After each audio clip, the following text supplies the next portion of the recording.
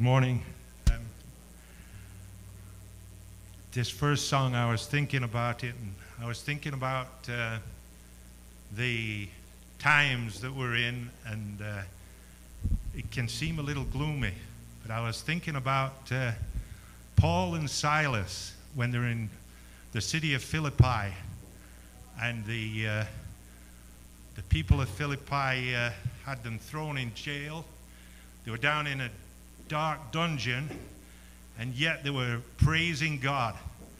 And uh, it might have seemed pretty hopeless for them, but uh, if you remember the story, there was a great earthquake, and they were uh, released from the chains, and the jailer who'd probably been beating them earlier, or, or allowing them to be beaten, he was in despair. He was going to kill himself, and uh, he uh, he was approached by Paul, and he said, "Don't kill yourself. Uh, the prisoners haven't escaped. You're going to be okay." And he said, "What must I do to be saved?"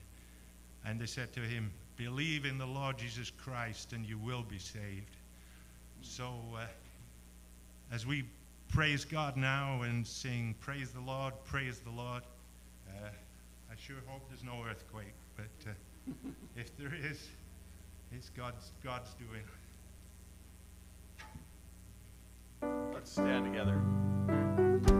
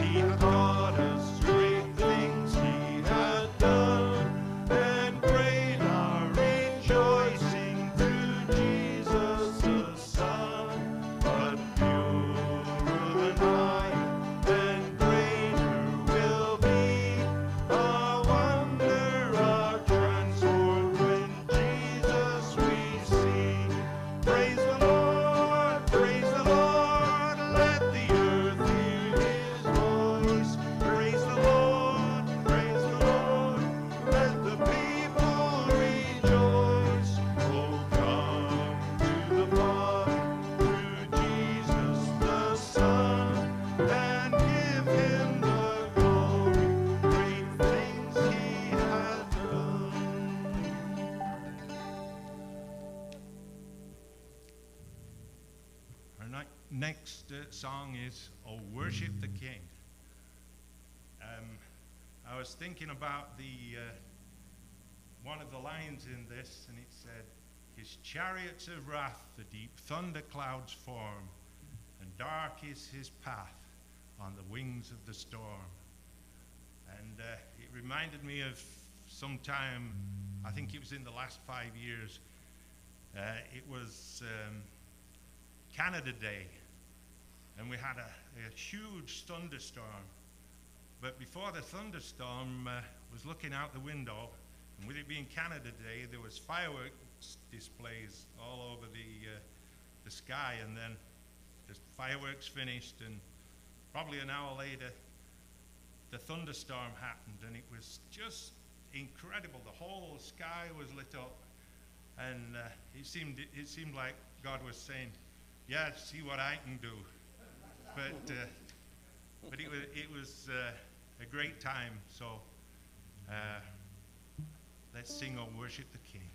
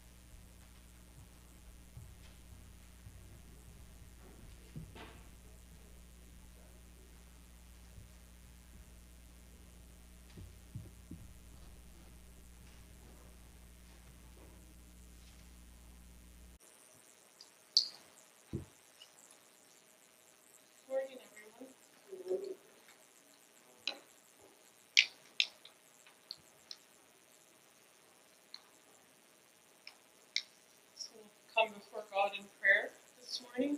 We'll start with scripture reading of Genesis 2 to 18, uh, 2 18 to 24 in the NIV version. The Lord God said, It is not good for the man to be alone. I will make a helper suitable for him. Now the Lord God had formed out of the ground all the wild animals and all the birds in the sky. He brought them to the man to see what he would name them. And whatever the man called each living creature, that was his name. So the man gave names to all the livestock, the birds in the sky, and all the wild animals. But for Adam no suitable helper was found. So the Lord God caused the man to fall into a deep sleep. And while he was sleeping, he took one of the man's ribs and then closed up the place with flesh. Then the Lord God made a woman from the rib he had taken out of the man, and he brought her to the man. The man said, This is now bone of my bones and flesh of my flesh. She shall be called woman, for she was taken out of man. That is why a man leaves his father and mother and is united to his wife, and they become one flesh. So we'll bow in prayer.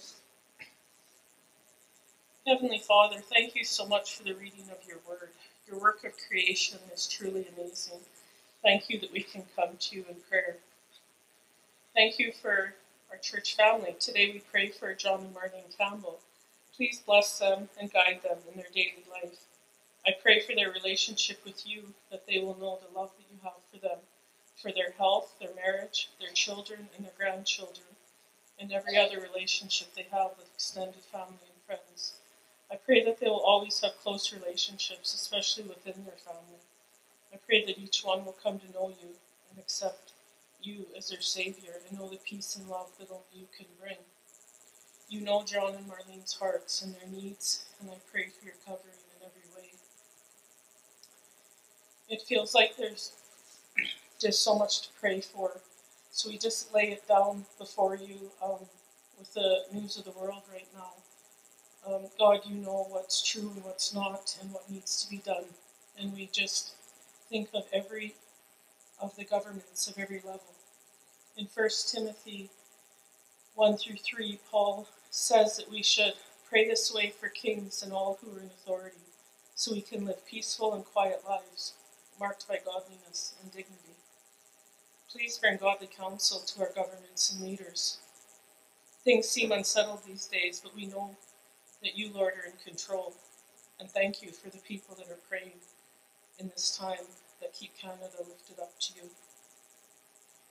Just pray that you continue to have your hand on this nation and you provide the leaders with the wisdom to guide us in the right direction. Even if they are not believers, Lord, I ask that you speak to them in different ways, that they make decisions that will honor you. I pray especially for youth and young adults. Excuse me. I pray that they will feel and know the hope and peace and love and victory that comes through you and through living a God centered life. Um, I think living in this time can be discouraging for young people, and I just truly lift them up to you um, to see things through you and, and just just to keep their eyes on you.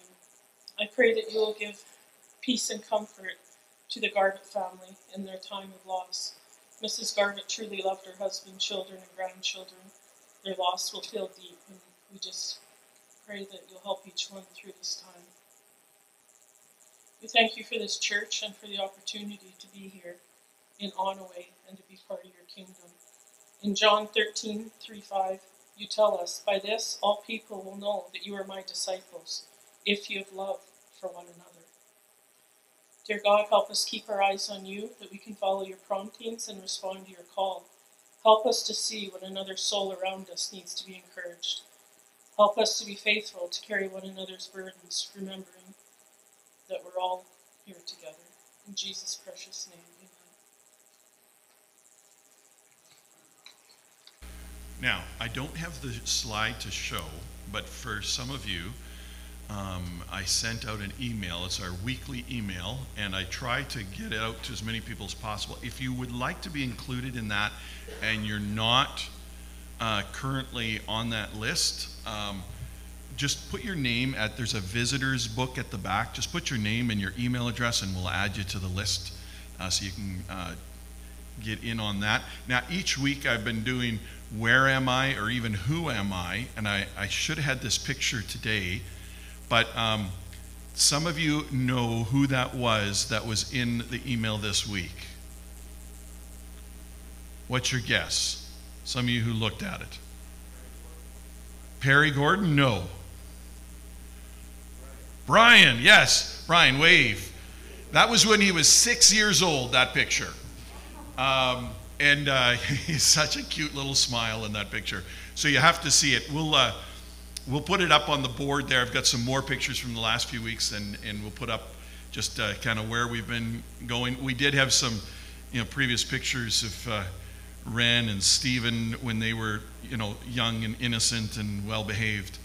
And uh, uh, yeah, who else? Anyway, uh, you'll have to look at the the uh, pictures there, and, and we'll get some others up there. Um, last week, I thought it was great. Tracy and Kira were up here singing their heart out, and Tracy said, "I." Uh, I just decided I'm going to follow God and leading and doing whatever He wants me to do. And so she was up here singing. And some of you probably were looking at that and saying, huh. if those two can do it, maybe I can too. Um, and not necessarily singing, but other areas that you can serve the Lord in. And it's not just in the church, by the way. I want to be careful to say that. To serve God doesn't mean you have to serve in this building or just with this church. There are lots of things that need to be done. Um, and especially during these days when, when our world is so needy, we need people that follow after the Lord to really uh, be listening to his voice and saying, God, where would you have me to serve?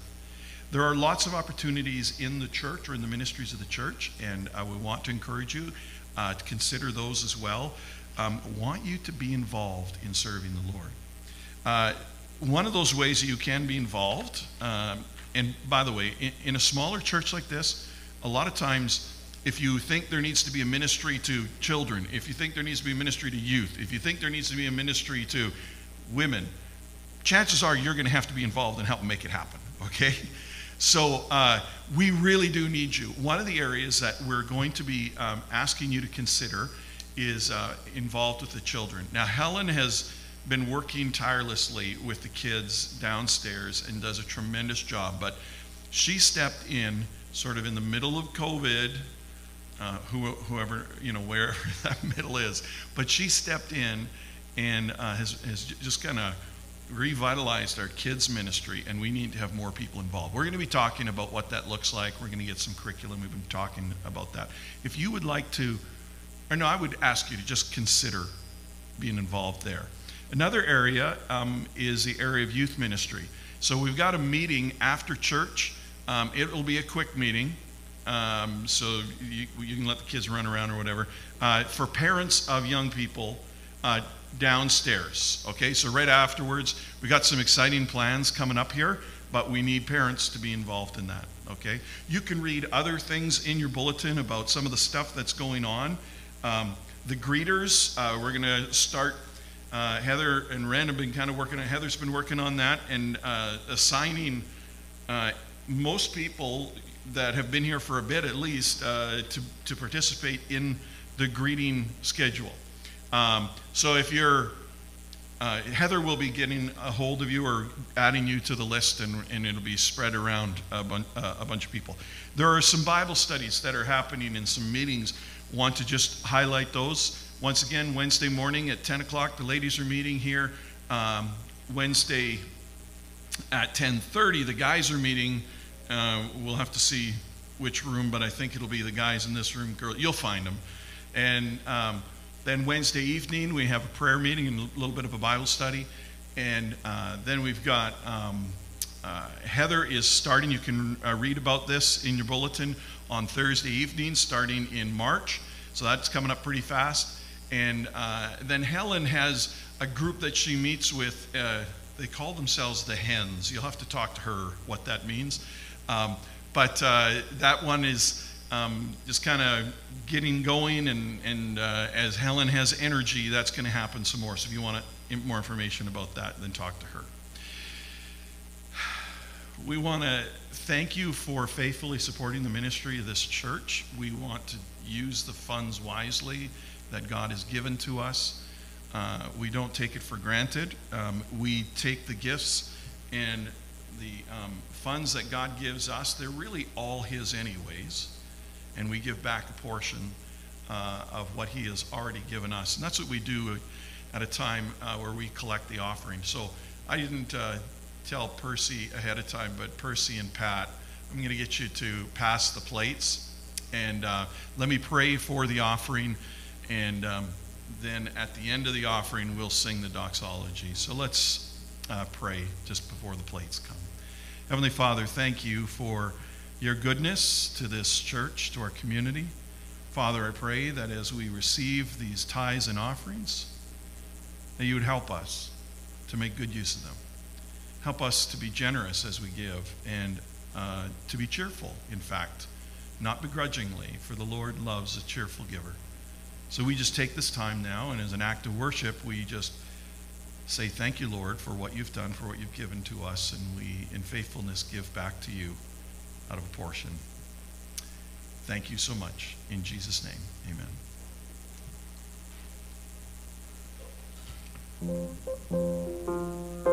amen.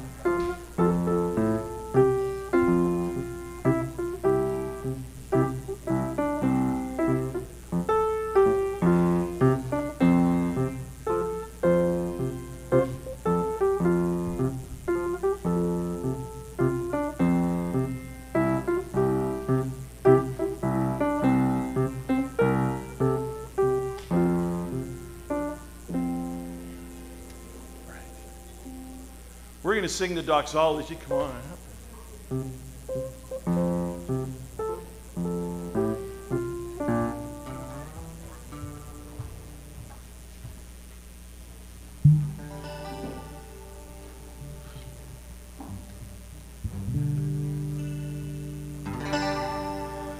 Praise God from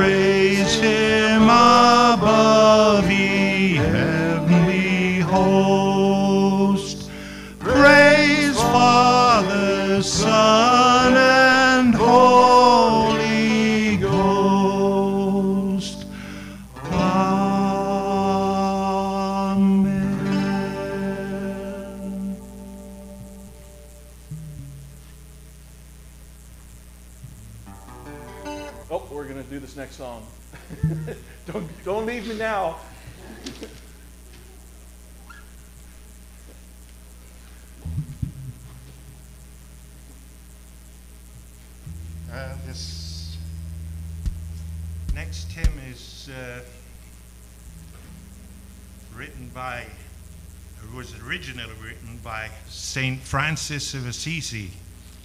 And uh, he was an Italian monk, and he was famous for his, uh, his love of, the, of God's creatures, the birds and the animals. And uh, that's how, how he's remembered. And he was the, uh, the author of this. So let's sing All Creatures of Our God and King.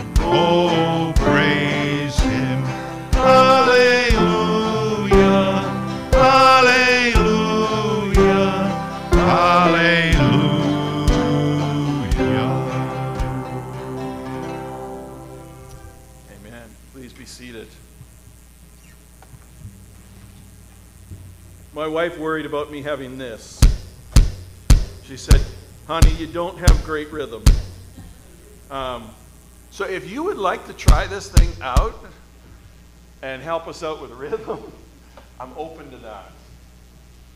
All right. Turn to Genesis chapter 1. If you don't know where Genesis is, this is super easy. It's the very first book in the Bible. And I have also put your or put the words in your bulletin um, to Genesis chapter 2, which is where we're going to be focusing this morning. And Sandra read um, verses um, 18 through 24. We're going to be taking a look a, a little bit more at some of the rest of the passage. So I invite you, if you have your Bibles, if you have a Bible, um, I, I'm the kind of guy that likes to write in my Bible. If you're not that kind of person, that's fine. Um, you can uh, write on this sheet of paper. Uh, the other thing you can do which I would invite you to do at any time, is in the pews here in front of you are a bunch of Bibles. You may write in those, but I would ask this put the date on it and maybe just your initials. That way, in years to come, some people can look back at that and be like, oh, this has been, uh, there's been people actually read this before. Um, so feel free to mark up the Bibles that are in the pews. All right? Um, now, some of you might think I just really uh, stepped on toes. It's all right to write in your Bibles, but some of you understand don't like to write in your Bibles. That's totally fine. Um, I like to, uh, when I was in high school, I was challenged. A, guy said, get a red pen and a blue pen, and it just start things that um, kind of jump out at you, put it in blue. If they really jump out at you, put it in red. And so I started underlining. I got this Bible when I started reading the Bible in, in high school that it's all marked up red and blue everywhere. I put a few comments in the in the side and so on. But I look back at that now and I'm like, huh, those were some good days when I spent lots of time reading the Bible. And I would encourage you to do that. We're in, in this first bit. Let me pray with us as we dive into the text. Heavenly Father, we need to understand your word. Your word gives life. You say later on in the Bible that your word is like a two edged sword. It's quick and active and it cuts to the very core. And there's a lot of confusion in our world around us. So we come to this, this Bible, understanding this is the very words of God, or these are the very words of God. And we need your understanding to interpret them and for us to wrestle with them and say, how does this apply to my life and how should I be changed because of this? So as we come to your word, Father, help us to see that. In Jesus' name, amen. This morning I want to talk about um, lonely boy, only girl. And you have in this passage in chapter 2, you've got this first boy, you've got this first girl. You've got a, a sort of a wedding ceremony at the end of chapter 2. And interestingly, it's God that performs the first wedding ceremony. It's God that first brings the woman. God is the one who gives away the bride. Uh, I don't know how many of you remember back, if you're married, to your wedding. I wonder how old you were. And dare I ask this? You don't have to share, but I'm wondering who the youngest bride was here.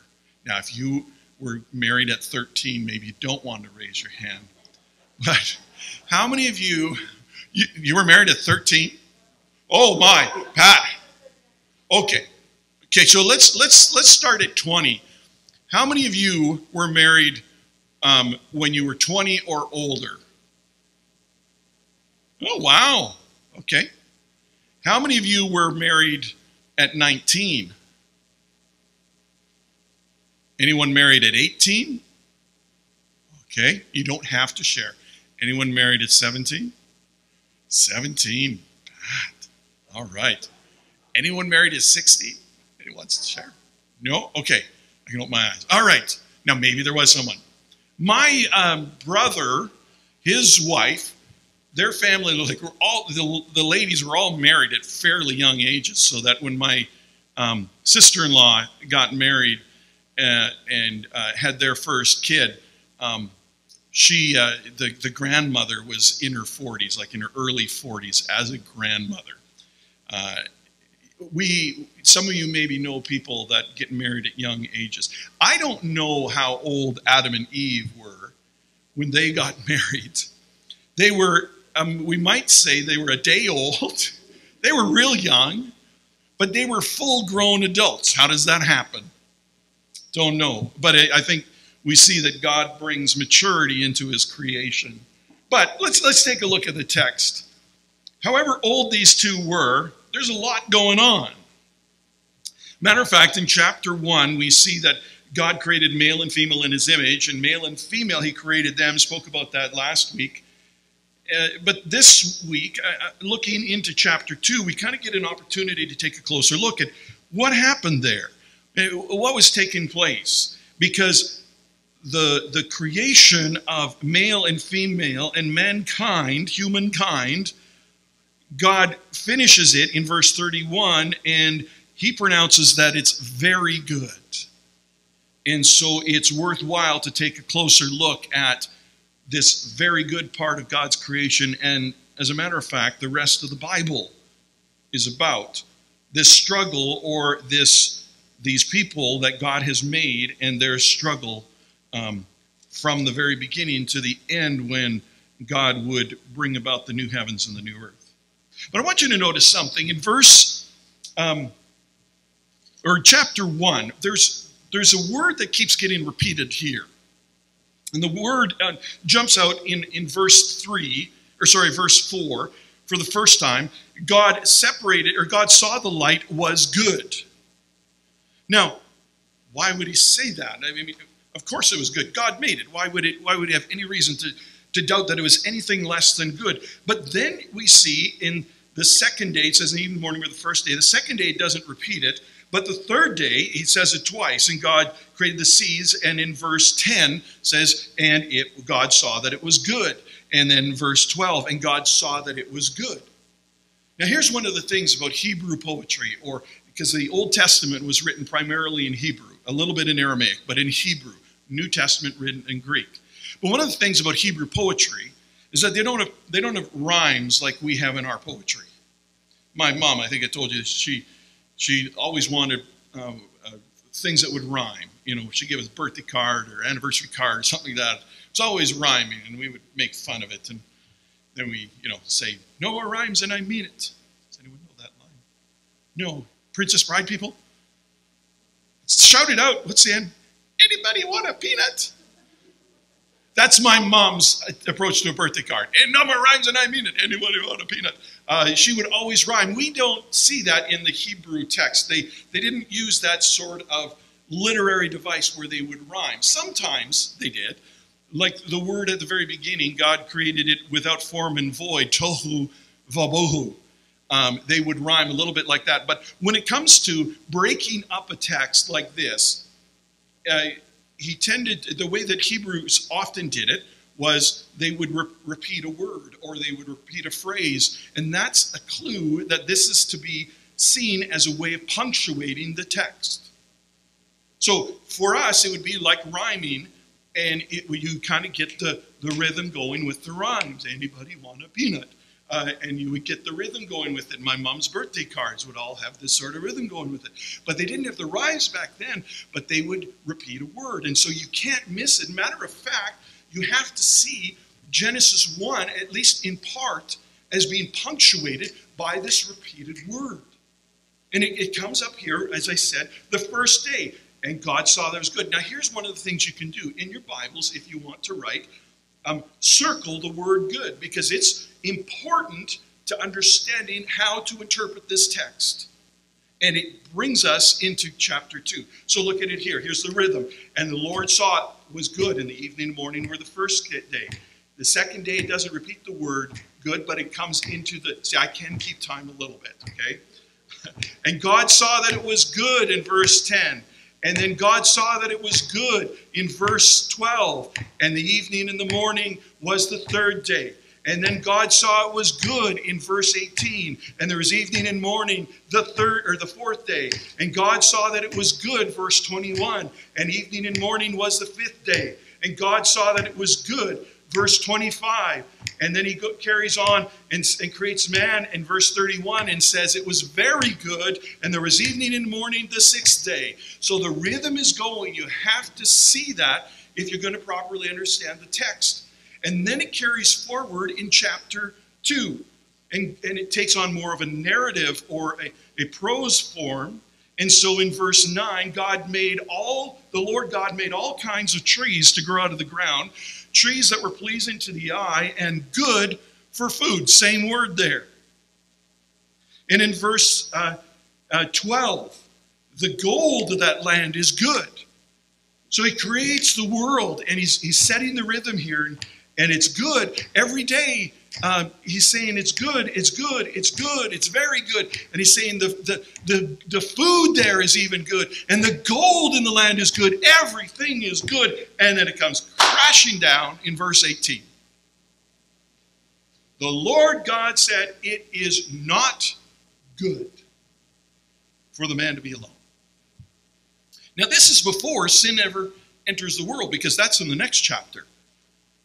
Why would God create something that's not good? That's a, that's a very good question.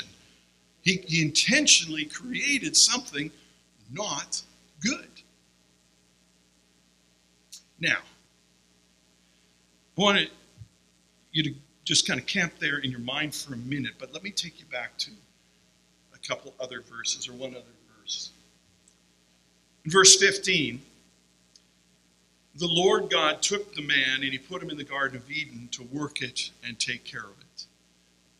The Lord God took the man, which he had created, and put him in the garden. Where did, where did God create the man? Not in the garden, right? Created the man outside the garden. Now, I suppose that too much can be made of this, but I think it's worth at least some significant consideration because it helps us to understand what is going on in verse 18 when he creates man and he says that it is not good for him to be alone. Why did he create man alone in the first place? Well, here you have this lonely boy who has no clue that he's alone. And this lonely boy was created outside the garden and he was brought into the garden. You know, there is something within the heart of a man that has a wildness in it. And if you want to understand your man or yourself, if you're a man, I think this gives us some clue and it helps us understand what happens in the rest of this chapter. There's something in a man that is wild. There's something in your boys that is wild. This is why guys are always taken off wanting to go hunting. This is why um, you, your boys will do crazy things and, and, and they just feel drawn to some, you know, wildness in them. Now, I grew up in a family of five boys. Four, I have four brothers, no sister.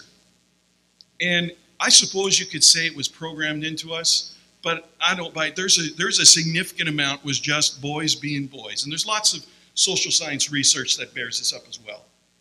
But there's a difference in a boy and a girl, and it's a, a difference that God created, and it's not a bad thing. Because it w- was before the fall ever happened.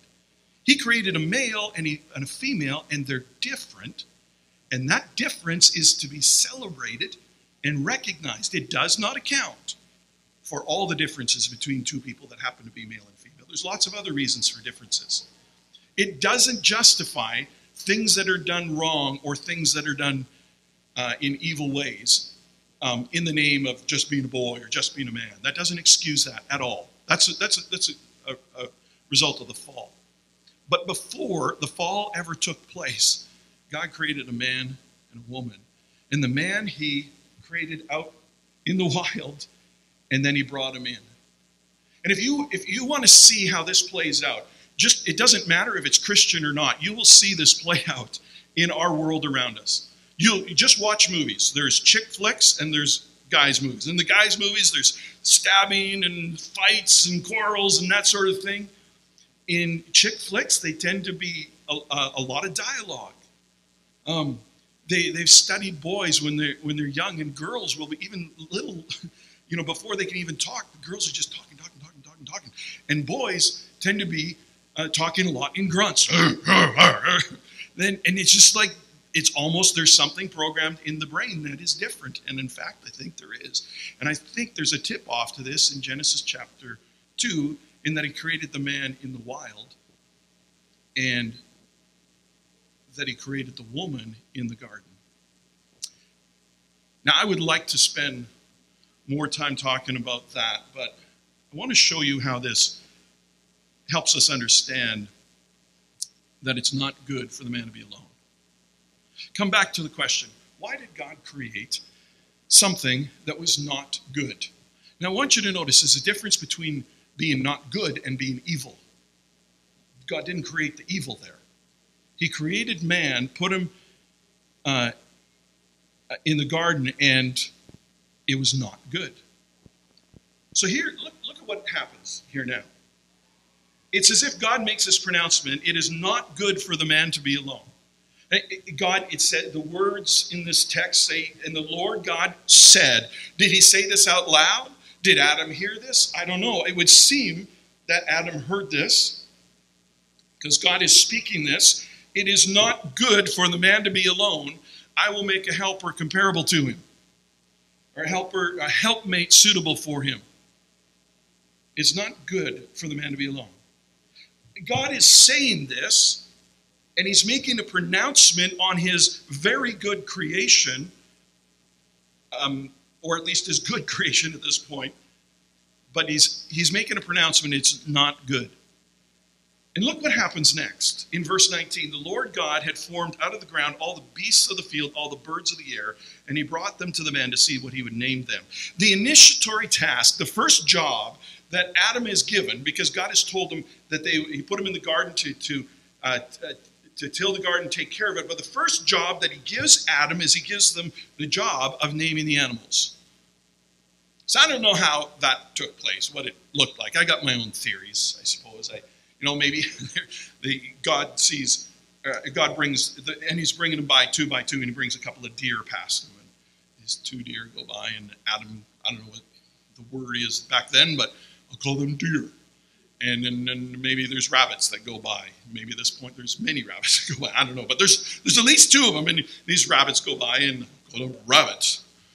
And there's a couple of sheep. I'll call them sheep. We'll call them cows.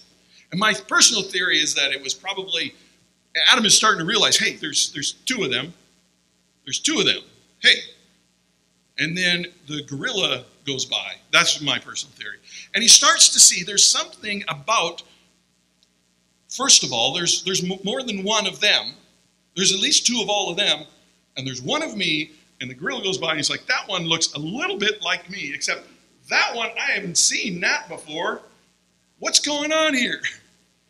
And it was then that Adam starts to realize God gives a task to Adam after making the pronouncement, it's not good that he's alone. And then he gives him a task of naming the animals, and somewhere along the line of naming the animals, and, and we see he's named all the animals. And then in verse, last part of verse 20, but for Adam, no suitable helper was found. Well, found by who? Found by God. Is God, you know, like looking down like, uh, hmm, something's missing here. I think I've made a mistake. No. God intentionally created something that was not good and the reason he did that is because he needed Adam to realize that it was not good. That, that no suitable helper was found. Not found by God, but not found by Adam. Now, here's a little tip for you, ladies. If you want to understand your man, how he works, just telling him something may not be sufficient. And you can tell him something more than once, and it may not be sufficient. And it will drive you crazy about him, my guess is. Um, but even God knew that just telling Adam, hey, listen, it's not good that you're alone. I'll make a, a helper suitable for you. Uh, clueless, or wasn't listening, or whatever.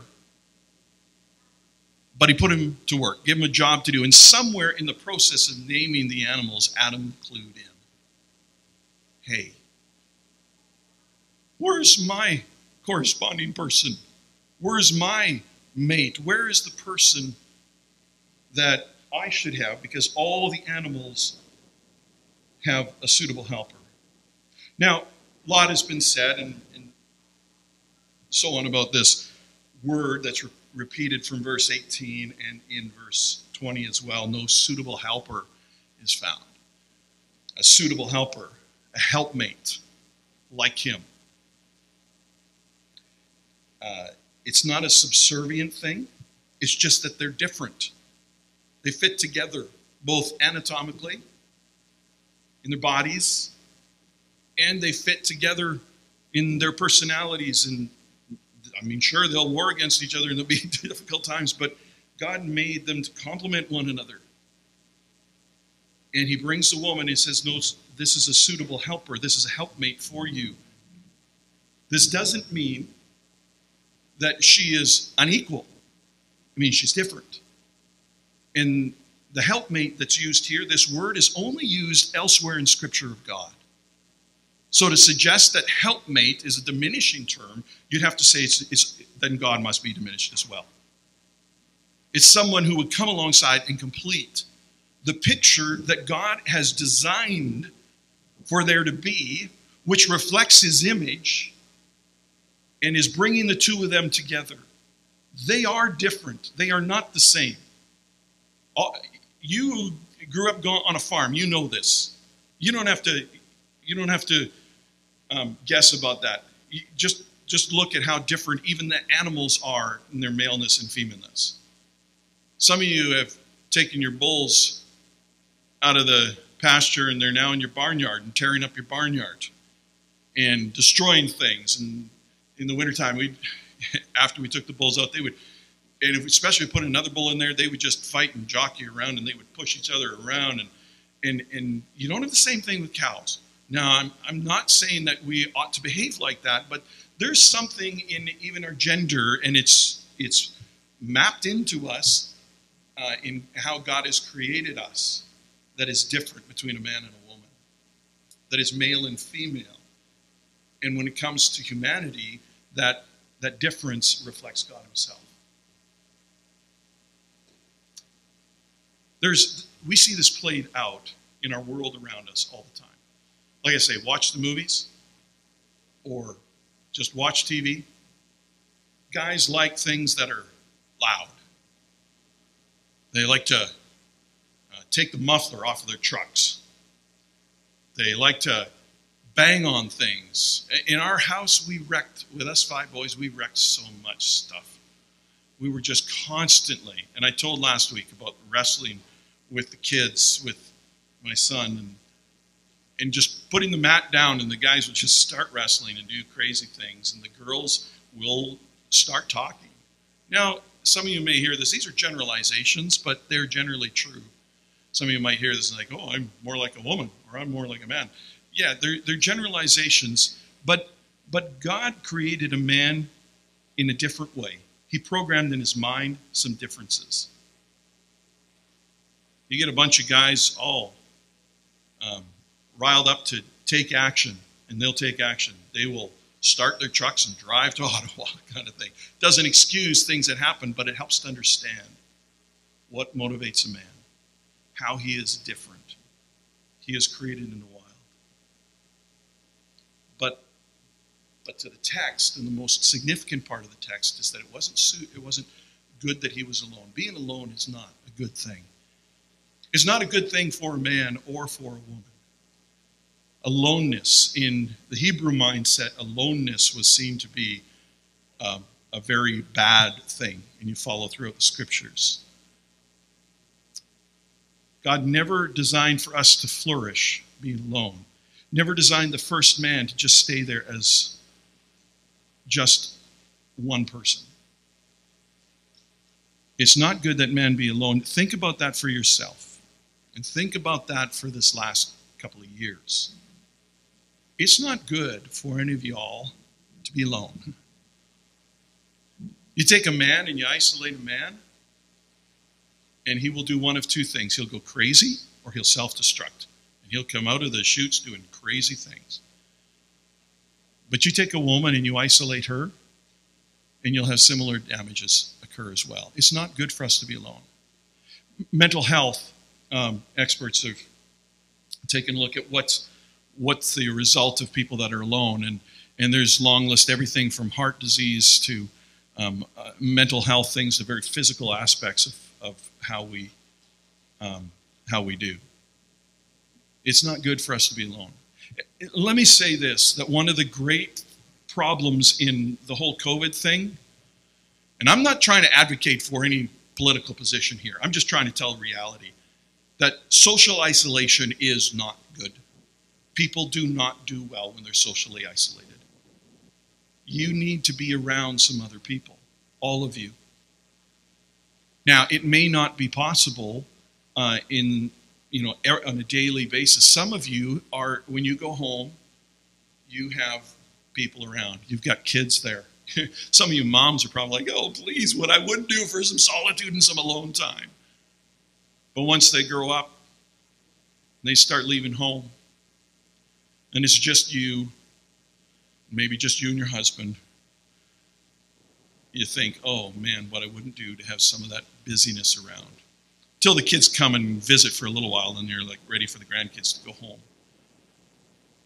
But for some of you who have lost a spouse, for some of you who maybe had kids grow up, you need to find places where you're together with other people. And I know that maybe that's the cry of your heart. Maybe there's days when you feel very lonely, where you miss those people you used to be with. And one of the roles of the church is to try and create places for you to be together with some other people. For some of you, or for all of you, I would say, there are people that are very lonely that are living in our community that just need someone to say hello, to maybe befriend them a little bit, to reach out. Because loneliness can be a terrible weight. It's not good that they, that man was alone, so I'll make a helper suitable for him. This is not necessarily a um, a championing of marriage, though it is in one sense. So, uh, if if if uh, God gives you an opportunity to find a spouse, then um, make a good choice in a spouse, and then um, enter into marriage because God blesses it, and it's a good thing. But but look what happens here. So. So the Lord God caused the man to fall into a deep sleep, and while he was sleeping, he took one of the man's ribs and closed up the place with flesh. Then the Lord God made a woman from the rib he had taken out of the man, and he brought her to the man. And the man said, and this doesn't translate well into English because it's more of a, a, punctuation expression here at the very beginning. It, it's the man's first words that we have here is really more of a grunt. When he sees the woman that, that, that God has created, is like, wow. It's like, ho, ho, ho, this is is more of an expression. In your versions, it's translated this is, but it's probably more of a grunt, more of a, oh, oh, yeah, this is what I'm talking about. God had made him alone. He didn't realize how alone he was and how bad it was. And then God creates a woman. And, uh, or sorry, then God parades the animals in front of him until he realizes in his brain that uh, it's not good he's alone. Only then is he ready to receive from God what God has created. And he's, his first response is, Whoa, this now. This is now bone of my bones, flesh of my flesh. She shall be called woman, for she was taken out of the man. For this reason, a man will leave his father and mother and be united to his wife, and the two will become one flesh. There is a ton packed in here of what God is suggesting about the woman. Because here's one of the things that even before the fall took place, man needed to realize what a cherished thing he was about to receive from God. Even a perfect man, perfect in that he had no sin, needed to realize how important this woman was because if he didn't, he would, he would be liable to take her for granted, to assume things upon her, not to fully cherish what God had created.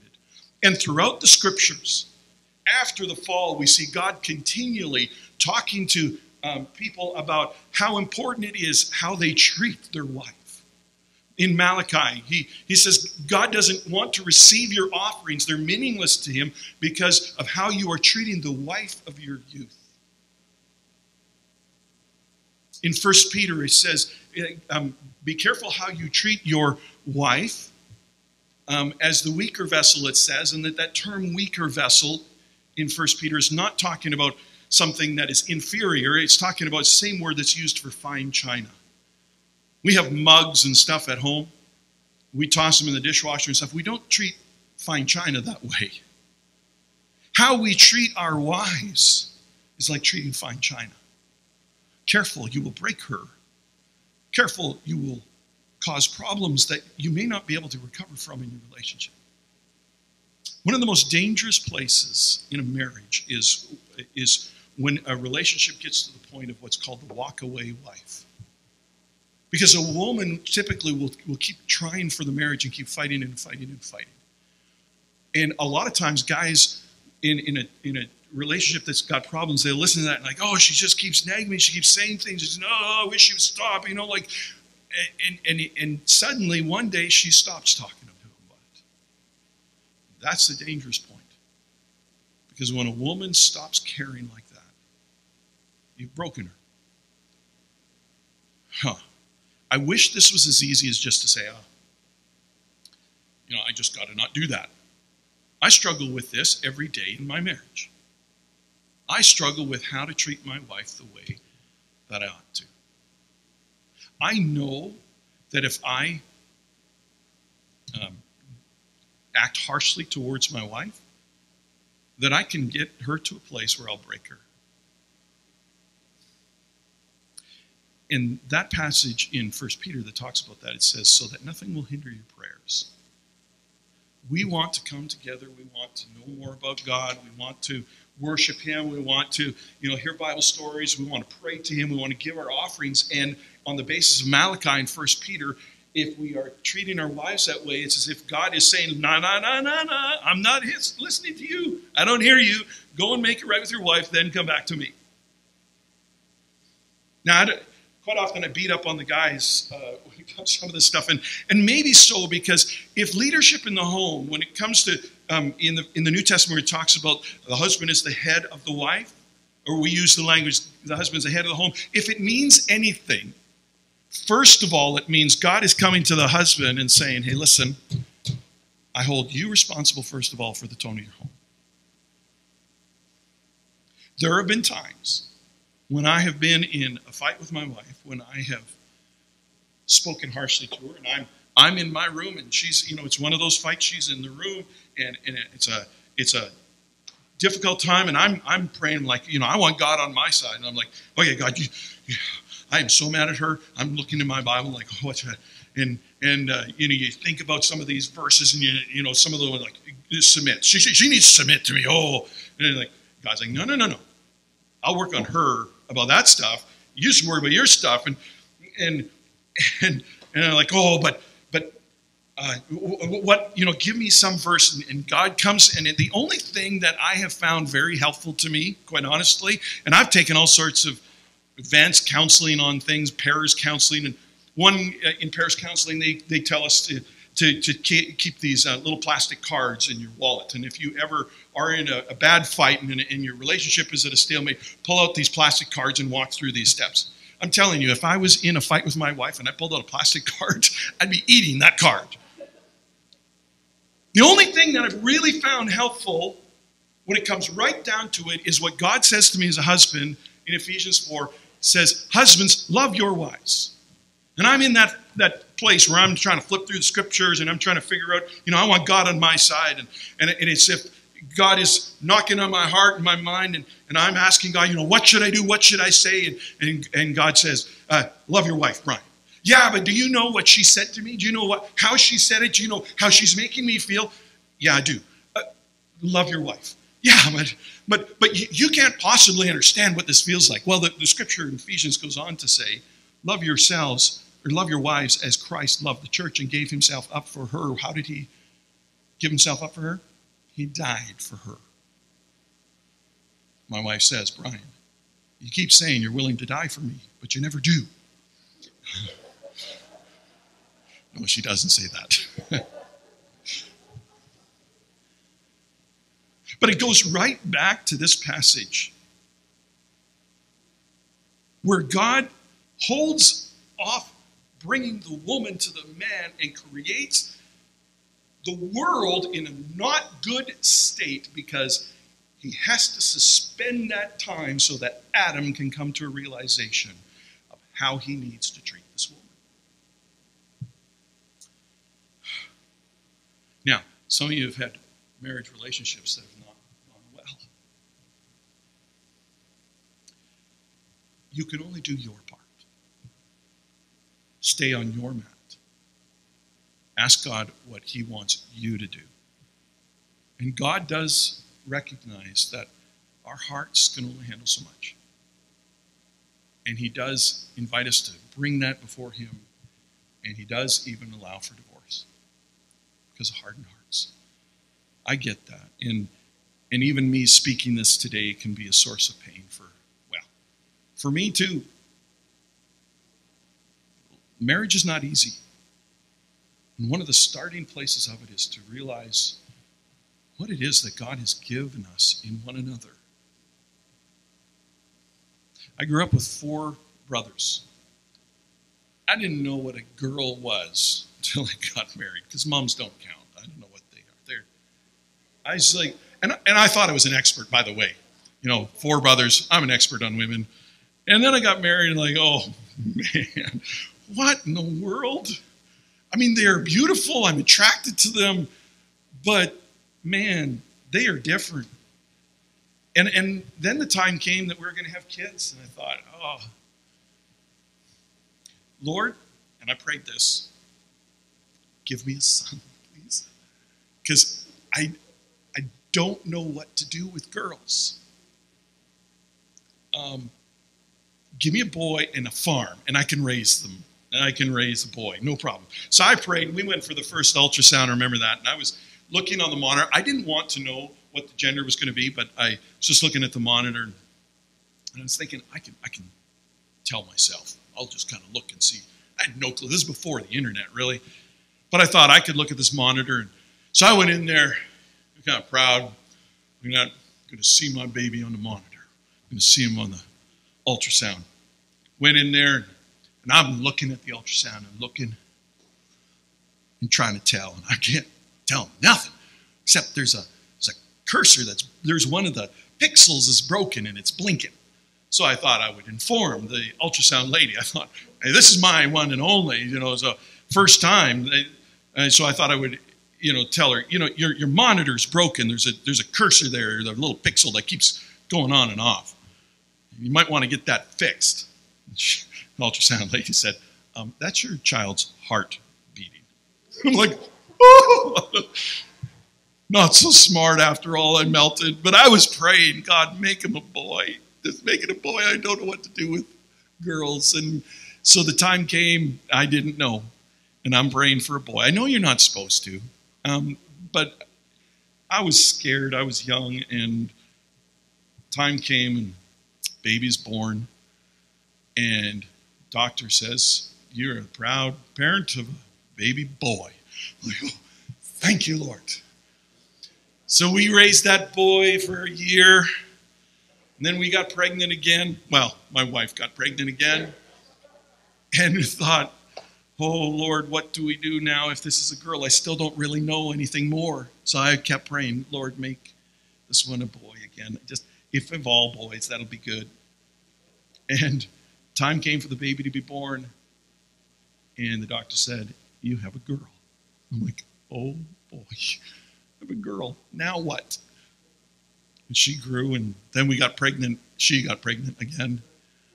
And I thought, Oh, Lord, I, one girl, I can probably figure that out. Another boy. And out came a baby girl. Then came time for four, the fourth one. I'm like, Lord, I don't know what to pray anymore. And out came a baby girl. So I've got a boy and three girls. And it has been a learning curve for me, for the boy as well, but for the girls. There's, there's one thing that I kind of hang on to, kind of my philosophy of raising girls, is that uh, in, in Proverbs 31 says, A wife of noble character who can find? She is worth far more than precious rubies. My philosophy in raising boys is let them be wild and bring some taming to him, bring discipline, that sort of stuff. But to raising a girl, this is, and it's far more complex than this, but, but here's one thing I hang on to I'm raising little rubies, ones that are to be precious, ones that, like here, God made Adam wait for so he'd realize how precious this girl is. And I'm raising these rubies, and I need to extol them with praise. Make sure they know how precious they are. Make sure they know how loved they are. They'll want to dance in front of me. They'll want to say, Daddy, look at this. They'll want to twirl around. And my goal as a dad was to raise them so that they might be precious because there may come a day, God willing, when they are going to walk up an aisle to some, as one guy said, some pervert at the front of the church who wants to take my daughter. And the challenge that I have is that I want that man to treat her like the precious ruby that she is.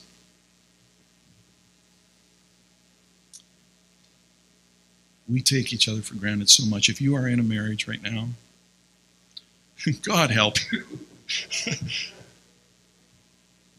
Love the person that you're with. It may come to a brokenness that is not repairable. I understand that. But for those of us who are in a marriage, understand that it's a precious thing. And really, this is the climax of creation, actually.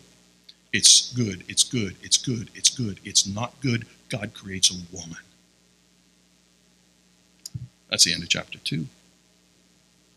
So you might say that the punctuated emphasis of Genesis 1 and 2 is actually God creating the woman.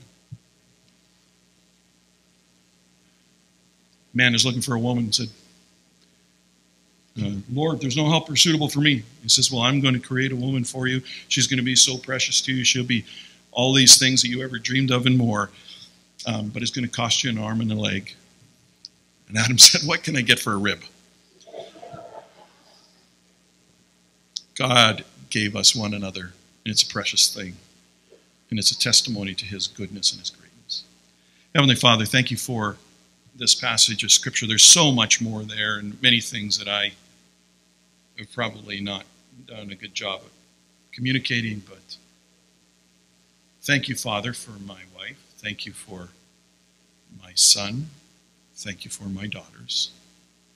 Thank you for my mom, my dad, people that you brought into my life. Lord, we're not good examples a lot of times of what it means to be a godly man. We're not good examples of what it means to be a godly woman. So we ask you to help us and help us, first of all, in our marriages if that is where we're at in life. We thank you that you came to save us and that when we get to heaven, there's not going to be marriage or given in marriage because we won't need this picture. We will be before you and we'll be worshiping you. So thank you for that. But uh, pray that you would help us in these days to be good, godly men and women. And we need your help to do that. In Jesus' name, we ask for that and pray. Amen. Let's uh, sing in the sweet by and by when we all get to heaven. All right. Let's stand together and sing that. This uh, song reminds me of the last chapter of uh, the Gospel of John, where uh, Peter and the disciples are out fishing and uh, they see somebody on the seashore and they look and it's Jesus. And Peter bails out of the boat and goes and meets him. Uh, so let's sing in the sweet by and by.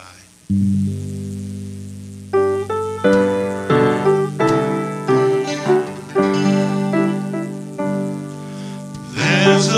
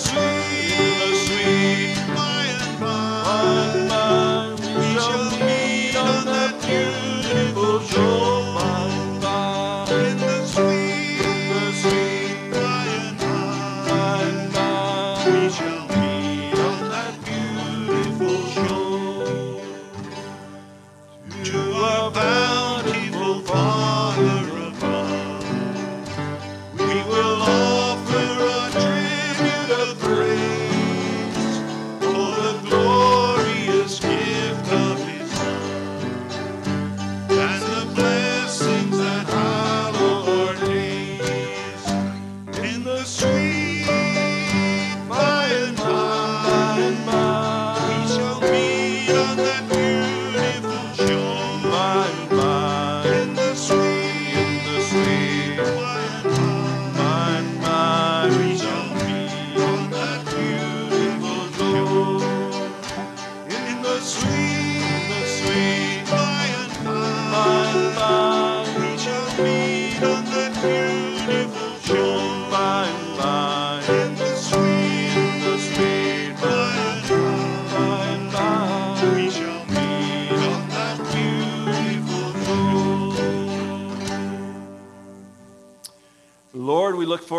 day when we will meet with you, and we um, thank you for your presence with us here this morning.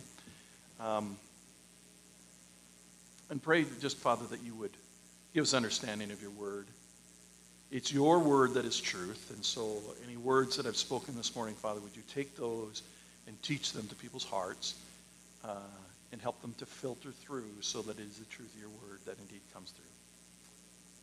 Thank you, Father, for your presence with us. We praise you. We ask for your help this week, and we look forward to meeting again. In Jesus' name, amen.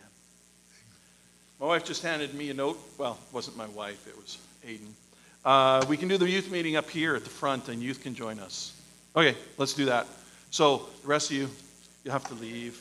Uh, visit with one another outside. We'll have a little uh, meeting with the parents, the youth, and if the youth want to join us too. That's great. Música